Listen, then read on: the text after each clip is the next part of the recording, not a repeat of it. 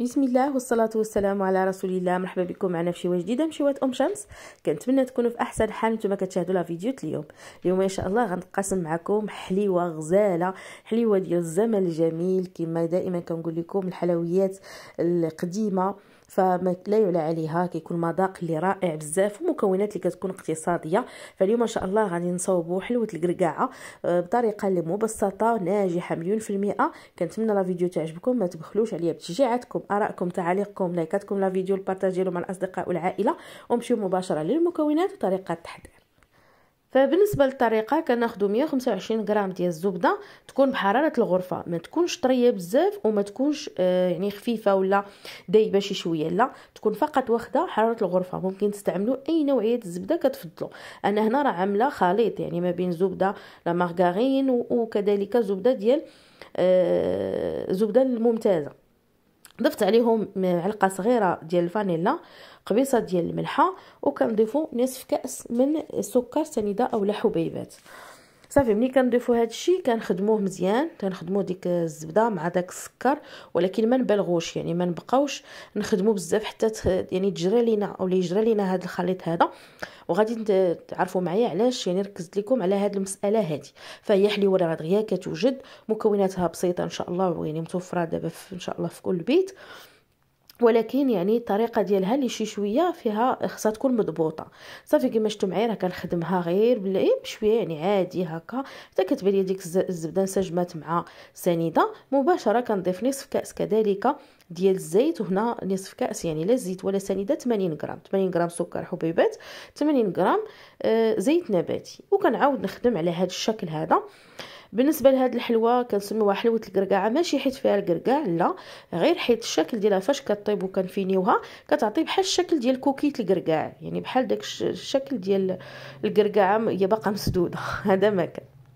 صافي كما شفتوا معايا كنخدم مزيان ديك الزيت شوية مع ديك العناصر وكنضيف عليهم بيضة واحدة الحجم ديالها يكون صغير. إلا بغيتو تعملوا هكا 125 غرام ديال الزبدة. اولا هاد المكونات اللي عملت أنا كتعملوا حبة ديال البيض اللي تكون صغيرة. بغيتو تدبلوا المكونات كتعملوا حبة وحده البيض. كذلك ولكن الحجم ديالها يكون كبير.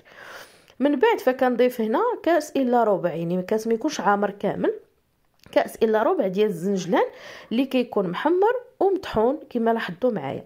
وكنضيفوا معلقة كبيرة ديال الكاكاو بحال هذا الشكل أنا ضفت هاد ال sachet هذا.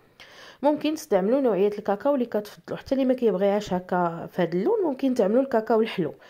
آه يعني اللي كنعملوا الوليدات في الحليب. صافي كنخدم هاد العناصر هادي وبالنسبة للزنجلان راه يعني العبار حتى هو ديالو 80 غرام. يعني 80 غرام زيت 80 غرام آه سنيدة و80 غرام زنجلان. كتعطي آه كاس الا ديال الزنجلان. العبار دائما كاس العنبة. كنبداو نضيفو في الطحين كما لاحظتوا معايا وبالنسبة لخميرات الحلويات كنضيفو فقط 4 غرام من خميرات الحلويات فما تكثروش باش ما تشتت لكمش في الفران أو لا تجي كبيرة بزاف لأن هي أصلا كتجي هشيشه بهذاك الزنجلان. كنضيفو 4 غرام من خميرات الحلويات وكنبقاو نضيفو في الطحين على حسب الخليط وغنقول لكم دائما شحال كنحتاجو. المهم كنبقاو نضيفو هكا على هذا الشكل هذا في الطحين. العجينة ما خصكمش يعني تضيفوا كمية الطحين بزاف حتى تنشف لكم العجينة.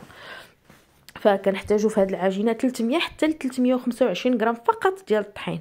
ما كندلكوش كنجمعوا العجينة ديالنا.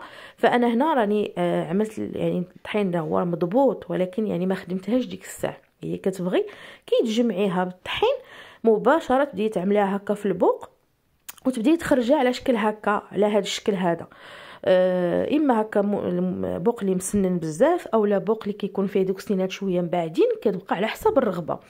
المهم تخدمي بها مباشرة. أنا هنا لأنني جاتني يعني واحد الظرف فما خدمتش بها ديك الساعة. خليتها تقريبا واحد ربعة سوايع وهي كتسنى فيا. فجيت لقيت الطحين تشربها. يعني الطحين تشرب هذوك آه، الزيوت كما كنقولوا ف آه، يعني ضروري هي ما تخلطيها حتى تكوني بغيتي تخدمي بها مباشرة. آه، كما قلت لكم. وبالنسبة إلى مثلا ما بغيتيش تخدمي بها آه، ما بغيتيش تخدمي بها ديك الساعة فبدا ما تخلطيهاش فخليها حتى تبغيها لأن هي دغيا دغيا كما شفتوا معايا كتخلط آه، ما كتحتاجش وقت بزاف. والطحين خاصو كما قلت لكم يكون مضبوط يعني 300 حتى 325 غرام ما ما ما تضيفيش كتر منها في هاد في هاد القوام هذا. لأنها من العجائن اللي كينشفوا.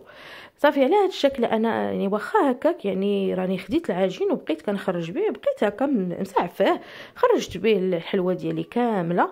أه واخا هو تيمحن شي شوية راه بالعاني يعني نزلت هاد لا فيديو باش تشوفوا يعني راه كاينين حلويات اللي كيبغيو شوية ديال الخاطر وكاينين أسرار دائما في الحلويات كما كنقول لكم. أنا هنا راه في الأول محنتني حتى ديك حتى في الطاوة وأنا نولي هكا كنخرجها في, في سطح العمل وكناخذها بكل سهولة. هانتوما كتبدي كتخدميها في سطح العمل على هذا الشكل وكتجي تاخذيها وتستفيها في الطاوة ديالك. الفران كنسخنوه من قبل كنسخنو على 170 درجة آه، فوق وتحت. حتى كيسخن الفران وكنطفي الفوق كنخليه غير لتحت. كندخلها كنقصو على 160 وكنخليها حتى كتبان لي الذهبات من التحت. يعني ما تخليوهاش تحمر. أنا أصلا لونها هي مغلوق شوية.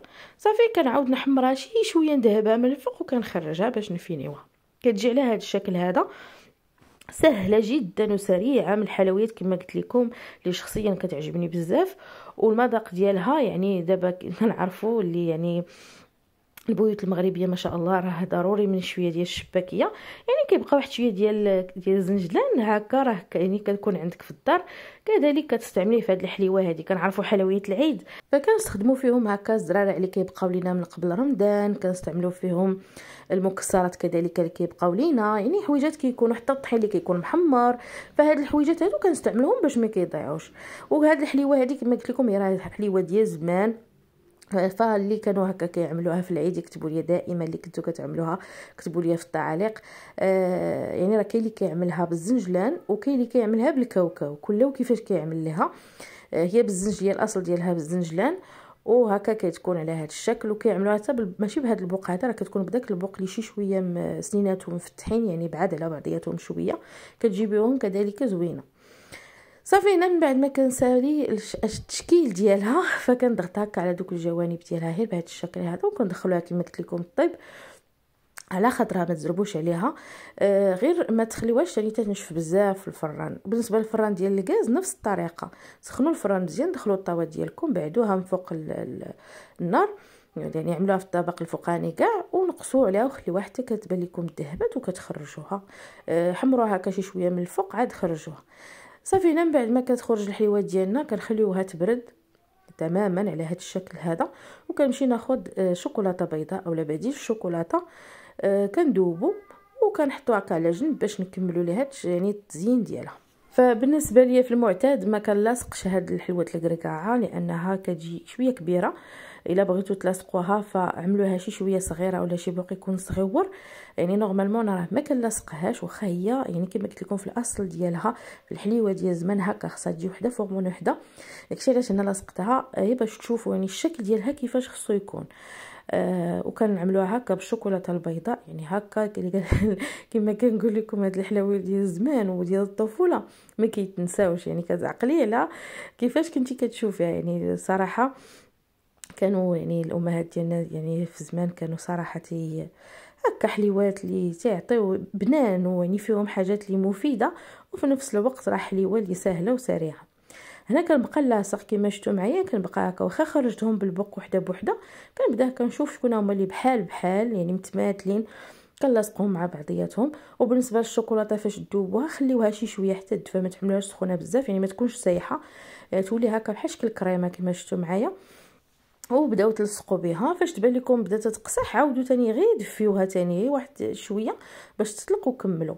آه إلا بغيتو منها كميه يعني مليحة فمن الأحسن أنكم تدوبلوا المكونات. آه فبحال هكا نرى هاد الكمية ما كتبقى ليا حتى النهار يعني في النهار كتمشي لأن كتعطي كمية صغيرة. إلا بغيتوها تعطيكم كمية كبيرة ف يعني كما قلت لكم تستعملوا بوق يكون شي شوية آه صغير. صافي كنستمر على هذا الشكل هذا حتى كنكمل.